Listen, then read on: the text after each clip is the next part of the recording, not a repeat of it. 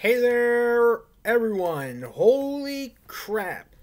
We finally got word on offensive tackle Riley Reiff.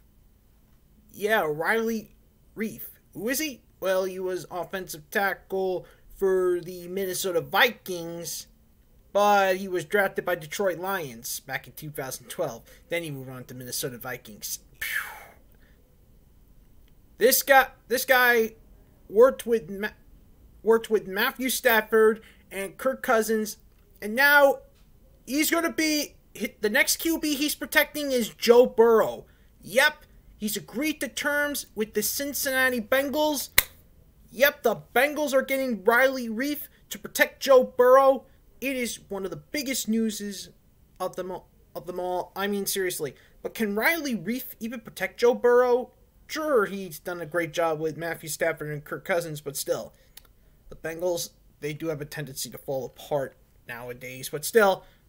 Plus, they're in the running for Penny so so well from Oregon. But I think getting Riley Reiff is a perfect way to protect Joe Burrow, especially since he's going to be in his sophomore year.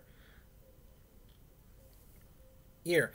He's played Riley Reiff has played 120 games and only and he didn't start in 8 of them. Them. That's right, he only played one he only started 112 of those games.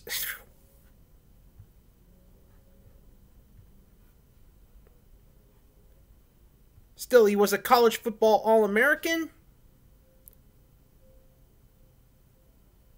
First team All Big 10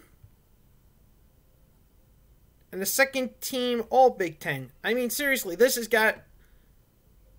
I think Joe Burrow is going to be relieved once this guy comes in because they're in the because they have because the Bengals they have the fifth pick in the draft and I'm pretty sure they're going to use it on Penny Sewell from Oregon. Combine Penny with Riley and you're going to be and Joe Burrow is going to be a huge threat.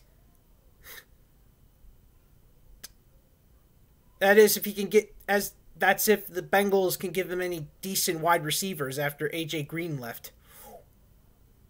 Anyways, good luck with Cincinnati, Riley Reiff, and I'll see you all when I bring you even more breaking news.